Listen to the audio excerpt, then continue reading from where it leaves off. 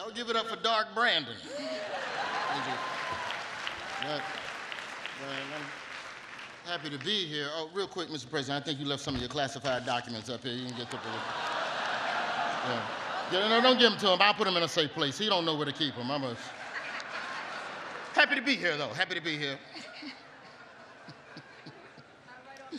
very happy, very happy to be here. Um, so it's a pleasure to be here amongst our country's greatest leaders, distinguished media organizations, both Property Brothers and Dr. Fauci. if you see Fauci, take a picture with him. That's your new booster shot. but y'all look good, though. I've been, I've been watching and looking around all night. Y'all look good. You dressed nice. You got the nice threads on. You got the jewelry glistening. Look like everybody got a little piece of that settlement money from Fox News. and that's all I have to say about that because I'm not going to have Dominion on my ass. I love Dominion. Matter of fact, let me just say right now, my favorite voting machine is Dominion voting machines. When I go to the polls, I make sure it is a Dominion machine that I use.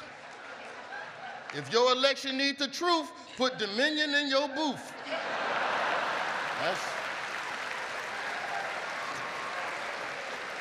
I ain't gonna get sued. It's three people you don't want to see in the courtroom. That's Dominion, Cardi B, or Gwyneth Paltrow. You gonna lose. Um, I'd like to thank Tamara Keith and the White House Correspondents Association for having me. Thank you for that. Um, I'm well aware that not everybody in this room knows who I am, so let's just address the elephant in the room. I know what it is. Half this room think I'm Kenan Thompson. Other half think I'm Louis Armstrong. President Biden thinks I'm the dad of y'all family matters.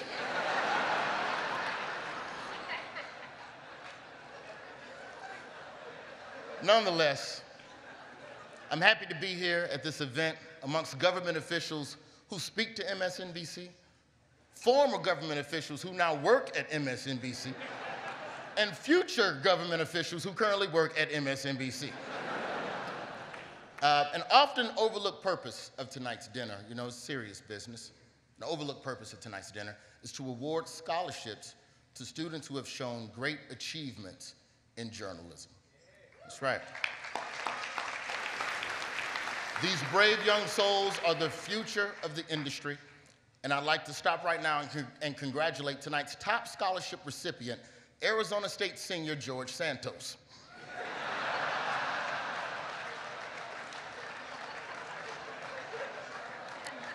Oh, yeah. Uh, George couldn't be here tonight. He's auditioning for RuPaul's Drag Race.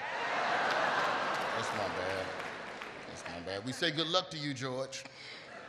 Sashay away. And also, speaking of drag queens, can, can we stop with the grooming stuff? Can you stop talking about that? Drag queens are not at a school to groom your kids. Stop it. And even if they were, most of them kids gonna get shot at school. It ain't no problem. Don't grown pass legislation.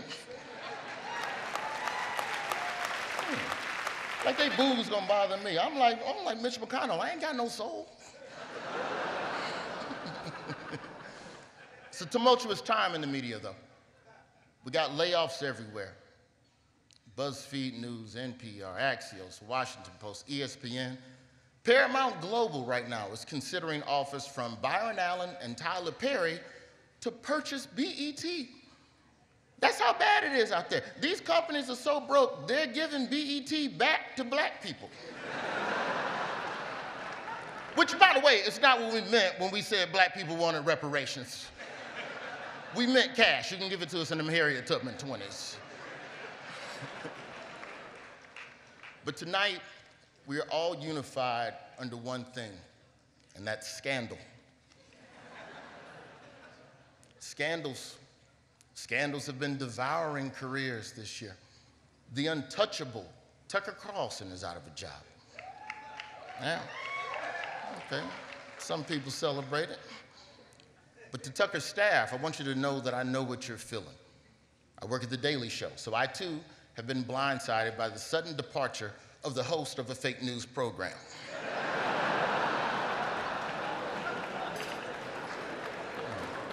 Tucker got caught up. Got caught up like that dude from Vanderpump Rules. Text message stuff. I don't know what Vanderpump Rules is about. I just watched it a couple times. My friends told me it's like BMF, but for white people. Or is that Succession?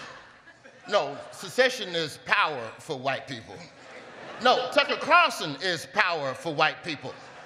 No, that's white power. You know, never mind. Don't worry about that one. No, don't worry about that. We got to get Tucker back on the air, Mr. President, because right now there's millions of Americans that don't even know why they hate you.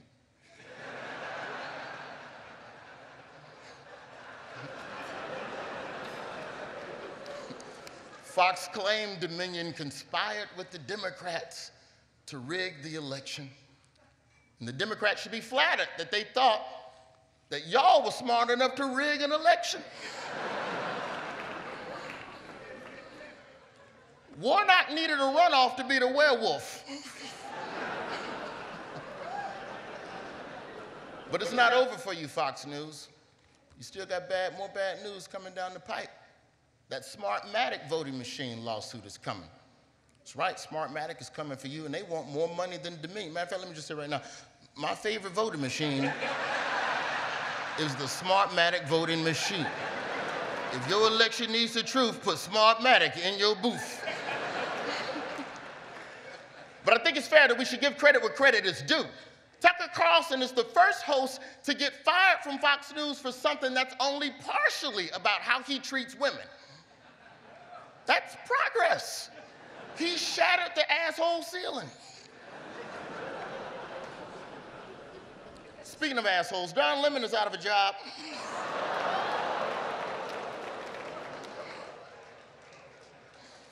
Don Lemon, my dog Don Lemon. Don Lemon released a statement saying he got fired from CNN. Then CNN released a statement saying that they offered Don a meeting. They had to part ways because Don Lemon can't even accurately report a story about Don Lemon. I still think that Don deserved more, CNN. That ain't how you fire somebody. It's messed up. How funny is it that you work in the news, then watch on the news that you got fired from the news? Don Lemon is now the most obnoxious guy in the history of CNN. That's not fair. Even Jeffrey Toobin looking at Don Lemon like, whoo, he rubbed me the wrong way.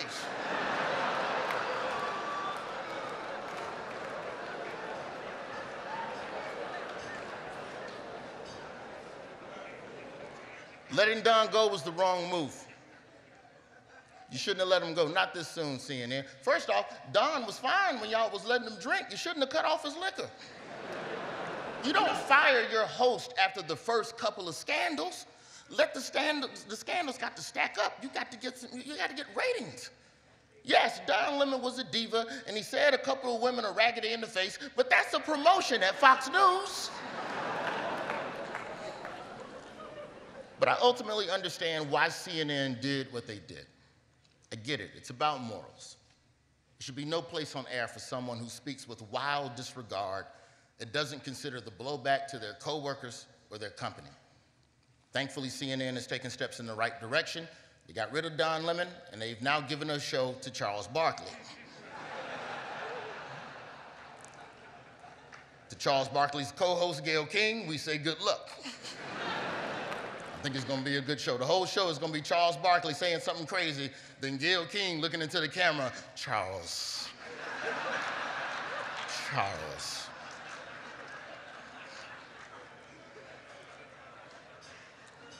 Scandals. That's what connects us. So many scandals. The king of scandals, President Donald Trump. And, for, for, for, just for a moment, can we just all acknowledge, can we just all be honest and just say that the Trump arrest didn't hit like we thought it was going to hit? We're so desensitized to scandals now. That Trump arrest, it didn't do what I thought it was going to do. The Trump arrest was like a pot brownie you ate four hours ago.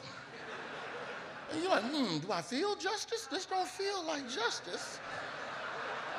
Hmm. Let me try one of them Georgia arraignment brownies. Maybe that'll hit. Okay, that one's that's got some kick to it.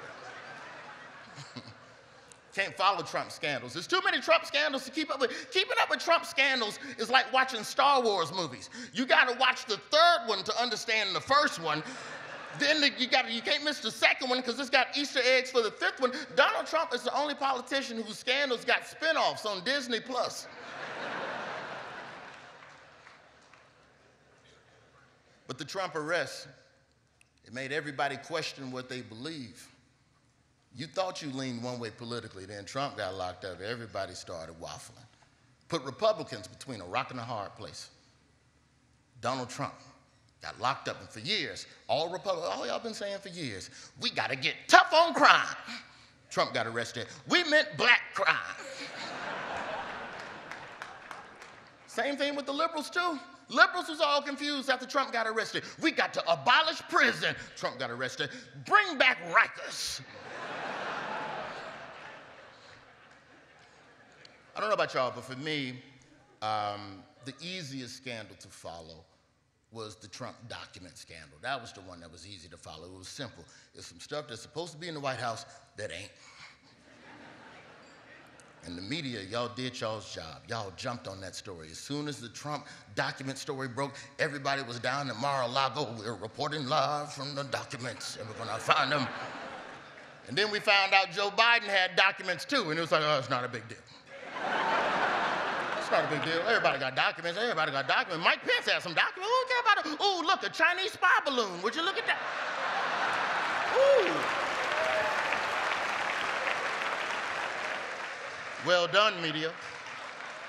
Happy to be here. Very happy to be here. if there's one person that could use a scandal, it's Ron DeSantis. That boy is just running around just passing every controversial law he can think of, thinking that's going to activate voters.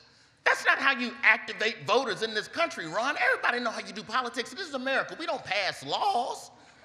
You make a promise to voters and then you don't do it. That's what the great leaders in this room understand. You know how to make things not happen.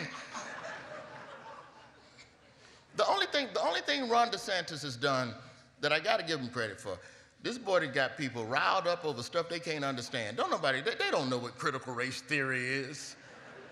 Got these people riled up about something that they can't even define, like crypto or NFTs.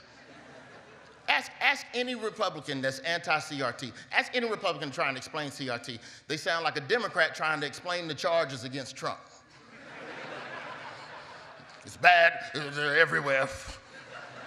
We just got to stop it. We got to stop it. We got the files. We got files. We'll be right back. I'm Rachel Maddow. I have files. Rachel Maddow get them files on you, it's a wrap.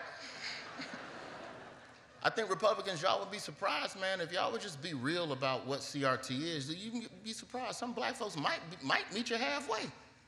But you got to tell the truth. You can't lie to black people. Call it what it is. Anti-CRT policies are an attack on black history and an attempt to erase the contributions of black people from the history books. That's what it is.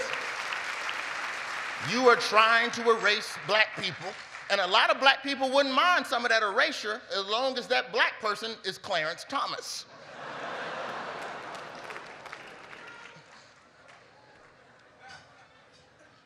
A billionaire named Harlan Crow flying Clarence Thomas all over the world on unreported trips, like an Instagram model, taking Clarence to the Maldives and the beaches and all. Paid for his mama's house, this billionaire. Paid for Clarence Thomas' mama's house. I gotta, I gotta, give it up to billionaires. Billionaires, boy, y'all, y'all are relentless. Y'all, y'all always come up with something new to buy.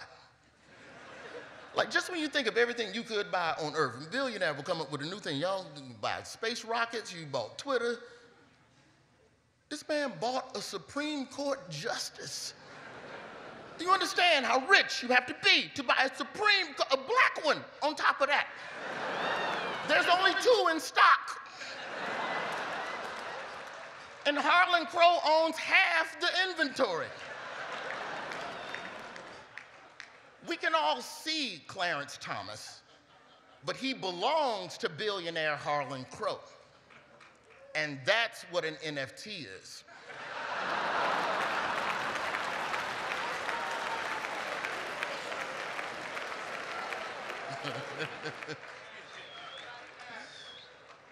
Everybody's got some scandals, though. Despite the challenging times we live in, I look around this room and I see people that are hardworking. Many of you, I don't even think you should be working that hard. We should be inspired by the events in France. They rioted when the retirement age went up two years to 64. They rioted because they didn't want to work till 64. Meanwhile, in America, we have an 80 year old man begging us for four more years of work. begging, begging.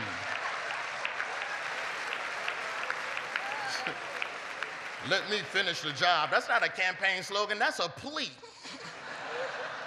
let me finish it, let me finish it. I do, I do wish you the best of luck on the campaign trail, Mr. President. Um, you got a lot of things that you're going to have to navigate, a lot of hurdles. You've had quite a few scandals. You know, we know, we know about the documents, we know about the laptops, but there's been no scandal more damaging than the scandal of is Joe Biden awake? hey, say what you want about our president, but when he wake up from that nap, work gets done. He might doze off, but mm, infrastructure bill. mm, oh, student loan forgiveness. Hmm, did we free Brittney Griner? Free Brittney Griner.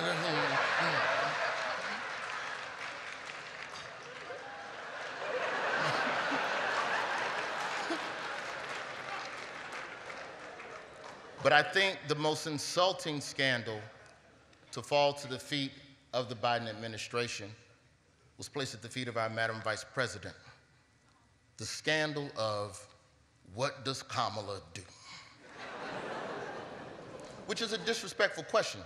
That's a disrespectful question because nobody ever asked that question of the vice president until a woman got the job.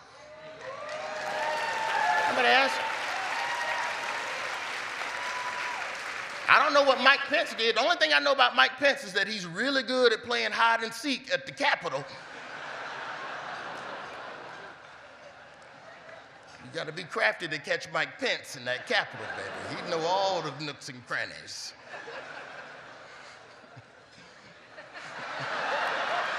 Don't put the camera on her on a Mike Pence joke. Don't do that. Don't be set. They trying to set you up, Madam Vice President. You see what they do? At the end of the day, as a vice president, the only thing, the only thing you got to do is just be better than Dick Cheney. That's the bar. Just be better than Dick Cheney. They made a documentary about Dick Cheney. Now, I don't know much about the job of vice president, but I do know if they can make a documentary about your time as vice president, you vice presidented incorrectly.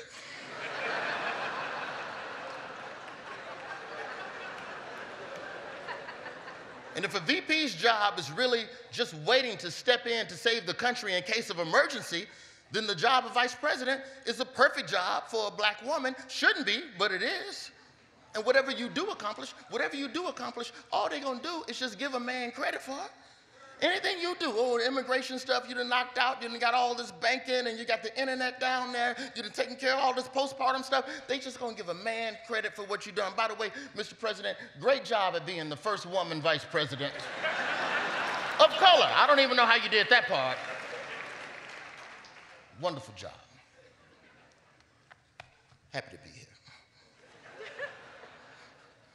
But tonight, tonight is all about you all the journalists, the defenders of free speech, the people who show truth to the world through different mediums, through television, through print, through radio, through whatever China let us see on TikTok.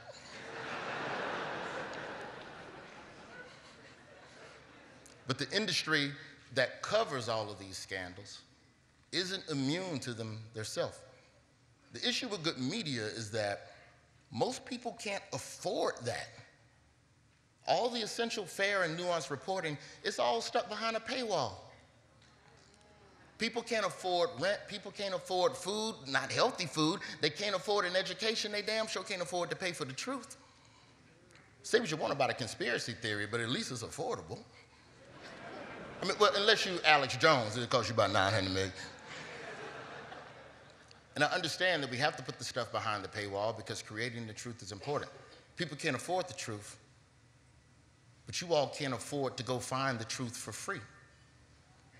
The work you do as journalists is important, it's essential, it's dangerous. My father was an embedded reporter on the front lines with black platoons in Vietnam. He was in the South African Soweto riots, he covered that. The Civil War in Rhodesia, which we know today as Zimbabwe. My father came back home and co-founded the National Black Network because he wanted to tell black stories. It's American Urban Radio Networks now, and they've been doing it 50 years, and that's part of what my father wanted to build, you know. And I know it was hard because, you know, black daddies love telling you when something was, was difficult. They were shooting at me, boy, I just, but, they, but I never dropped my tape recorder. my daddy tell war stories like Brian Williams.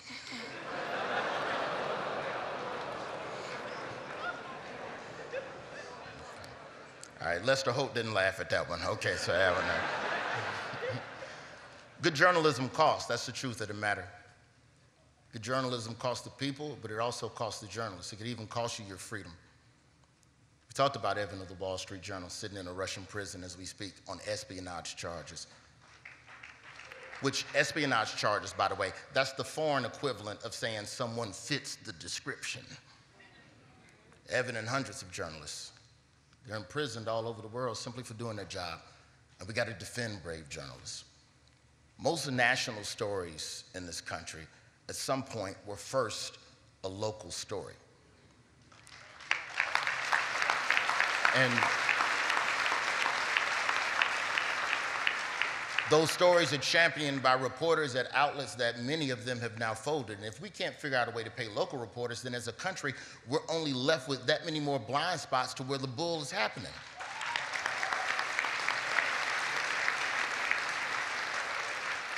You hear about all these newsrooms getting cuts. That's every article that Tamara has been sending me the last two months. It's just the newsroom is getting cut. We're cutting people, we're cutting budgets, but you never hear about the multi-million dollar executives reducing their salaries within these organizations.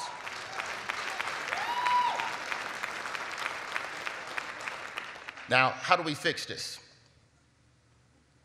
I don't know. I'm a comedian. I was just up here. It's not my job to have the solution. That's on y'all. but local, local reporting is very important. My mother is here tonight. And I know she's furious right now because I'm trying to put on camera, but my mother was amongst a group of black student protesters fighting for equality in the 60s at Delta State University. And, and that was a dangerous time. But those types of incidents were covered by local reporters, and some of the shame that came from the national embarrassment of treating people inhumanely is part of the pressure that helped to create that type of change. What would have become of my mother and those other protesters if a local journalist wasn't there telling the story? And now it's no different. But thankfully, my mother's story was told. She got to complete her degree at Delta State and continued on to Florida A&M and got another degree. And then for the last 45 years has worked at a historically black college as an educator and administrator. And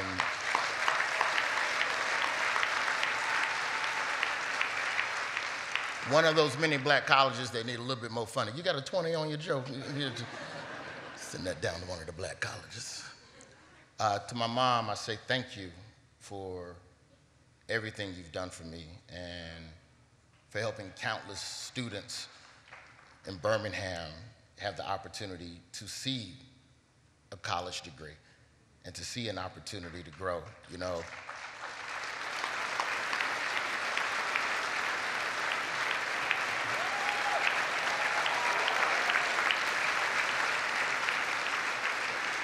My mother's journey may not have even begun if not for brave journalists who chose to chronicle history in real time. And I don't know how to ever repay my mom for what she's done for me and what she's done for so many people in Alabama. But just know, Mama, if, If a white billionaire call you and offer to buy your house, please sell it. Because I might want to become an NFT. Thank you so much to the Correspondents Association. Thank you so much to Tamara Keith. Thank you all so much. Good night.